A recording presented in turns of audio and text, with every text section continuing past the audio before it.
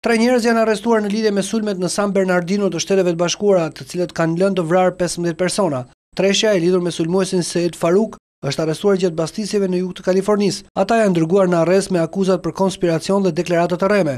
Sulmet e dhjetorit të shkuar janë kryer nga çifti musliman Syed Farook dhe Tashfeen Malik, të dy janë vrarë nga policia.